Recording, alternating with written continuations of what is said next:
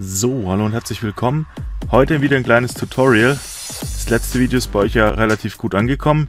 Darüber freue ich mich. Vielen Dank auf jeden Fall.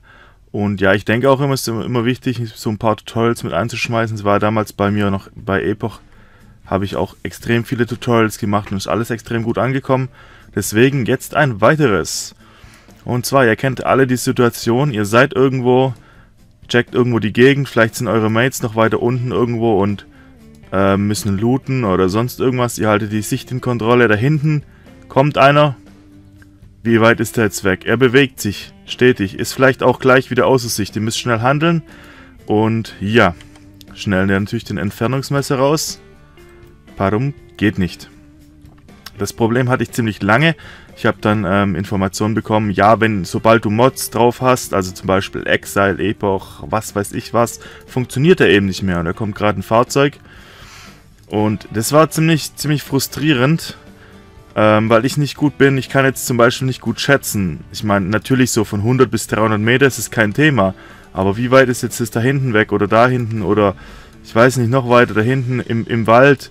Wie viel, wie viel Meter sind das? Und dann muss natürlich auch der eine Schuss sitzen. Und generell auch Sniper und Spotter waren wir immer eigentlich unterwegs und ist irgendwie dann weggefallen, weil wir dann auch nicht mehr irgendwie feststellen konnten, wie weit es weg ist. Natürlich gibt es dann die Möglichkeit, wir sind hier unten und klar, jetzt hier hinten setze ich einen Waypoint, habe hier hinten 424 Meter, da kann man ein paar Punkte setzen. Funktioniert meistens ganz gut. Man muss natürlich dann plus, minus 100 Meter immer noch ähm, schnell reagieren. Aber es ist natürlich auch nicht die feine englische Art, beziehungsweise ist einfach nicht so, das Feeling ist da nicht da. Wenn ich überall meine Waypoints hinsetze, ich setze hier 10 Waypoints hin, ist es zwar funktionabel vielleicht, es sieht aber auch nicht toll aus. Und dann hätte ich lieber jemand, der spottet mit dem Entfernungsmesser. Jo, und das Problem hat sich jetzt erledigt. Wir gucken hinten das Haus. Tada, 448 Meter. Wir gucken noch dort hinten zum na, Baum. 425 Meter, 453 Meter, 400, 500 Meter. Also ihr seht, es funktioniert. Es ist nicht wie der ähm, normale Entfernungsmesser, wie man kennt, dass er sofort immer reagiert, wo man ist, sondern es ist immer quasi auf Knopfdruck funktioniert das Ganze. Und jetzt will ich nicht zu lang drum herum reden. Ich will die Tutorials auch mal relativ kurz halten. Ich erkläre euch jetzt, wie das funktioniert. Und zwar geht ihr wieder auf Konfigurieren, auf die Steuerung. Dann wählt ihr hier oben Waffen aus scrollt etwas runter, bis hier Laserreichweite kommt. Äh, auf Englisch ist, glaube ich, Laser Range oder Laser, Laser Sight, ähm, bin mir nicht sicher. Da packt ihr das T rein. Es kann sein, Radar an, aus und Ziel erfassen war bei mir am Anfang belegt mit T.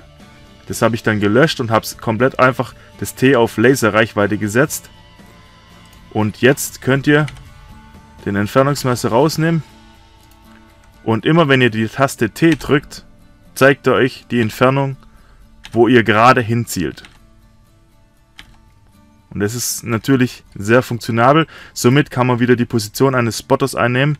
Heißt einer, okay, einer ist mit dem Scharfschützengewehr, der mit dem Entfernungsmesser liegt daneben. Die ganz herkömmliche Art und Weise, wie es eigentlich funktioniert. Dann heißt da hinten kann man dann auch schön Waypoint setzen, habe ich euch ja in dem vorigen Video gezeigt. Und dann heißt es hier, da wo der Waypoint ist, 461 Meter.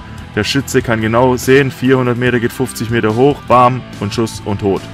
So wie es einfach optimal funktionieren sollte. So, das war der ganze Spuk. Wenn ihr noch Fragen dazu habt, schreibt es in die Kommentare. Gebt mir einen Daumen hoch, würde ich mich riesig drüber freuen. Und wenn ihr Bock habt, gibt es ja natürlich dann noch mehr. Dann sage ich vielen Dank fürs Einschalten, viel Spaß damit und bis zum nächsten Mal. Ciao!